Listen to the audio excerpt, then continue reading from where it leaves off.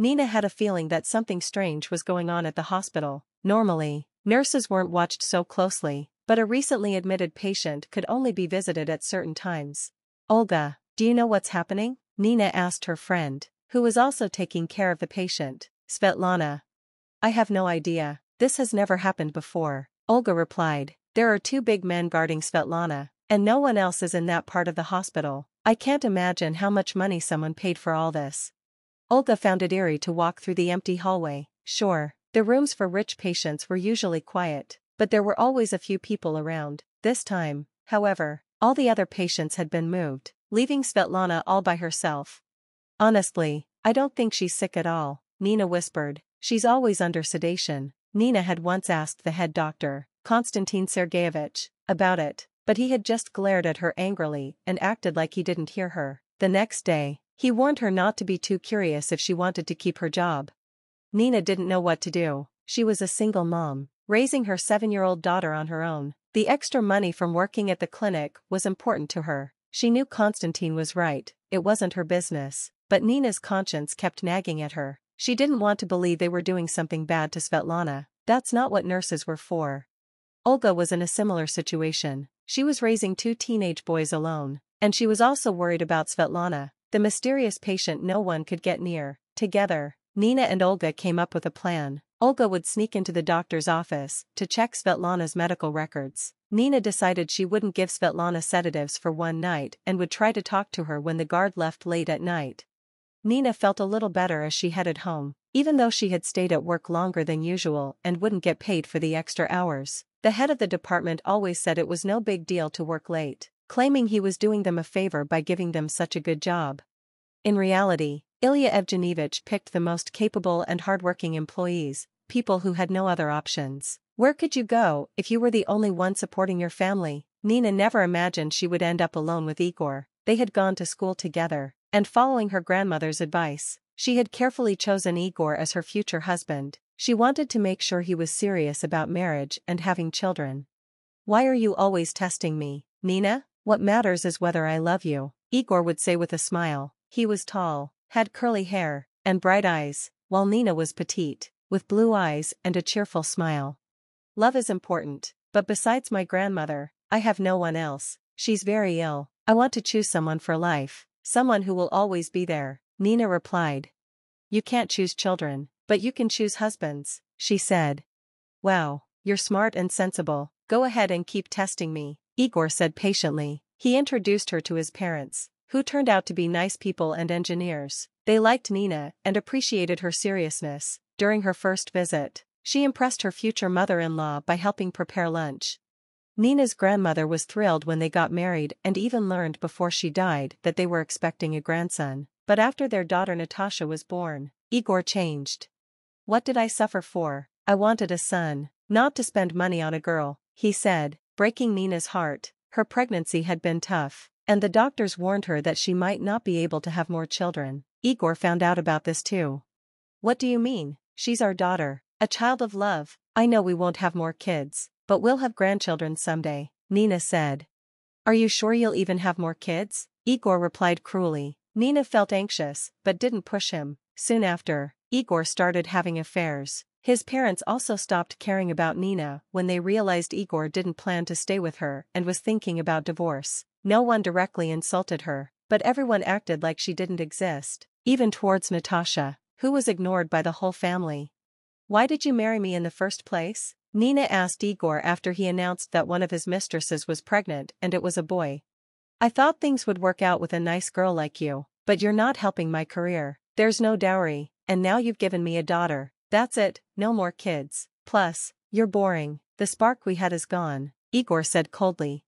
He told her he was divorcing her to marry Valeria, his new girlfriend. Nina was heartbroken. How could he just throw her away like an unwanted pet? Igor had been dating other women to try to give his parents the son they wanted. How had Nina lived with him and not seen what a terrible person he was? In anger, she slapped him and moved into her room at the dormitory that same week. After selling her grandmother's big house, where she had grown up, she realized city life offered better opportunities for her child, and her job paid more.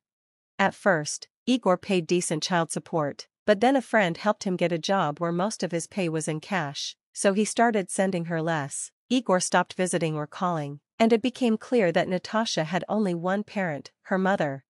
Nina was still young, and some men showed interest in her, saying things like, What have you got to lose now? You're a divorcee with a child. It felt like they thought being abandoned by her husband made her less valuable, but Nina didn't want to get involved with those kinds of men. She believed she could manage on her own and wanted to stay true to her principles. Nina, you did everything right by marrying well, but you still made a mistake, one man, Victor, said, trying to win her over. I was young and naive, but I've stayed true to myself, and that matters. Acting with integrity is important, Nina replied, hoping he would understand that just because she had made one mistake didn't mean she would settle for anyone now. Let me tell you something, women, you can't live alone, Victor insisted, not understanding her at all. He kept saying she had lost her value on the marriage market and should take what she could get. You're young, but you've already got some issues. If you keep this up, you'll never be happy, he sighed. Nina stopped arguing. Victor got angry and told her to stop being so picky. You can't change someone's mind if they lack common sense, she thought to herself. The next day, Nina and Olga put their plan into action. Olga found out from the documents that Svetlana wasn't really sick. The head of the department had fake medical certificates with conflicting information ready for any situation. The truth was that Svetlana was being kept in the hospital for some unknown reason. When the guard left, Nina was able to speak to Svetlana. She hadn't given her any sedatives that day and had slipped her a note asking her to pretend to be asleep and that Nina wanted to help. Listen, you're not sick at all, you're being kept here for some unknown reason, and they're heavily guarding you, Nina said, sharing what she had learned. Svetlana, a fragile brunette with green eyes and a short haircut, replied, Well, now there's nothing we can do, I have nowhere to go. She explained that her wealthy father had died, and her stepmother was trying to take everything from her. Svetlana felt safer in the hospital than at home because she had almost been hit by a car twice in the past year and had narrowly escaped an attack by thugs. Your guard just said everything is calm and that he won't be back until morning. Get ready, and I'll help you out through the service entrance. No one will notice, Nina suggested, offering for Svetlana to stay with her in her dorm room. But I don't have any money, Svetlana said, sounding resigned. Don't worry, I know a good taxi driver, he's a decent guy, I'll call him, Nina reassured her, encouraging her to act quickly. Nina remembered she had always been told to marry Kolya, but since he was a few years younger, she never took him seriously. A few months ago, she had run into him at a water park while celebrating Natasha's birthday. Kolya had moved to the city and hadn't married yet. He had offered to help her any time she needed it, and Nina believed he meant it. Of course, I'll come right away, Kolya said when Nina called him, canceling a trip he had planned and asking a friend to pick up his client. When they were in the car, and Nina explained everything, Kolya said, This could be dangerous, let's get Natasha and have you both stay at my place, I have three rooms. Kolya mentioned that his brother had become successful, started a business, and bought him an apartment, hoping he would settle down and start a family. You're probably right, Svetlana's guards do look dangerous, and everything she told me is concerning, Nina admitted, knowing that Kolya was reliable and trustworthy. They stopped by the dormitory, and Nina told her neighbor to act like she didn't know anything. Luckily for Nina, her vacation started that day, giving her three weeks off work. The next day, Nina's phone kept ringing, her neighbors informed her that someone had broken into her room and messed everything up. The head of the department demanded that she come to work immediately, even though she was on vacation, to explain what had happened. I don't know anything about Svetlana, Nina lied. And why aren't you home? Her boss accidentally revealed. Why do you think I'm not home? Nina asked, but the head of the department just hung up and sent a message saying that if she didn't show up, she would face consequences. Two months later, after Svetlana's lawyer sorted everything out, the danger was finally over. It turned out Svetlana's stepmother had been anxious because her father hadn't left her anything in his will, and she had planned to get rid of Svetlana. I don't know how to thank you, Svetlana said to Nina.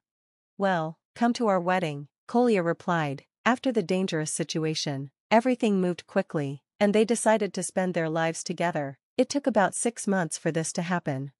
How did you know I needed help so urgently? Svetlana asked. Luck. My ex-husband's new wife is a notary, and she told him about her wealthy client, that's how I found out, Nina explained. Why didn't you tell me right away? Svetlana asked, surprised.